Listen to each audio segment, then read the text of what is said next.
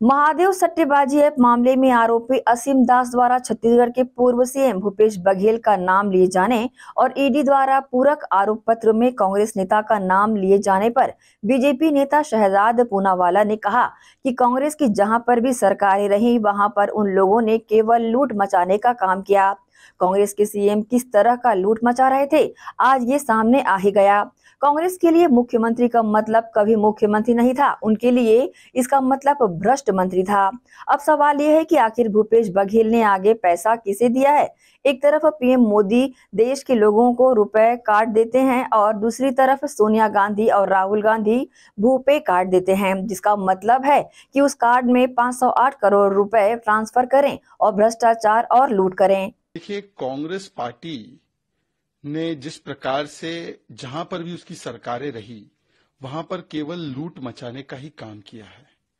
कहीं पर साढ़े तीन सौ करोड़ कांग्रेस के सांसद के घर से मिलता है तो कांग्रेस के मुख्यमंत्री किस प्रकार से लूट मचा रहे थे, आज ये सामने निकल कर आया है। सीएम का मतलब कांग्रेस के लिए चीफ मिनिस्टर नहीं, करप्ट मिनिस्टर ही था। जहाँ तक छत्तीसगढ़ की बात है तो हम तो पहले दिन से कह रहे थे कि छत्तीसगढ़ में केवल गोबर घोटाला गोथान घोटाला, डीएमएफ घोटाला, पीएससी घोटाला नहीं, शराब घोटाला ही नहीं, बल्कि सट्टा के घोटाले में भी महादेव के नाम को भी नहीं बख्शा गया है।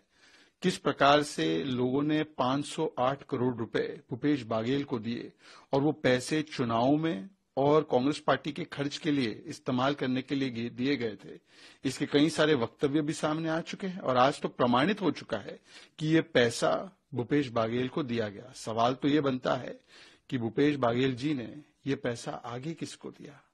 क्योंकि एक तरफ़ तो मोदी जी देश के लोगों को रुपए कार्ड देते हैं और सोनिया जी और राहुल गांधी जी भूपे कार्ड देते हैं।